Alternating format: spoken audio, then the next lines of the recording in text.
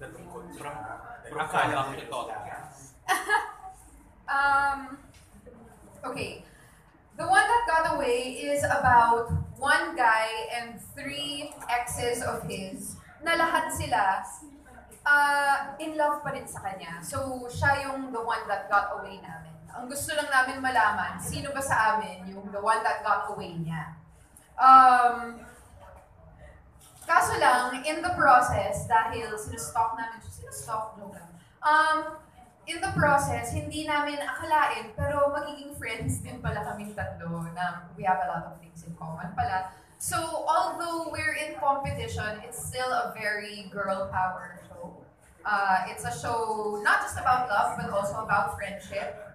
And I think it's also a very relatable show because whether you admit it or not, you have a one that got away. And I know it's true because I do.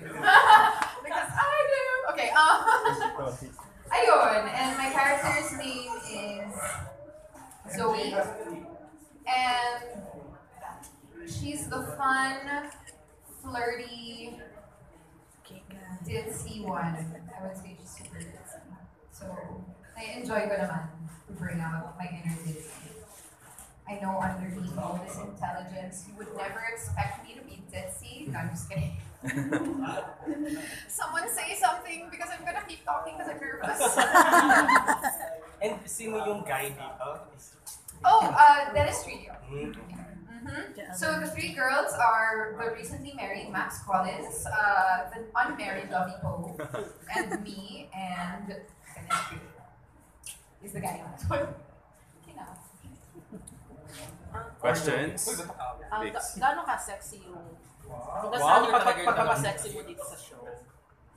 Um, actually, malaki yung pasasalamat ko sa show na to because this is my very first time in my whole life, I'm 27 years old, to finally have abs.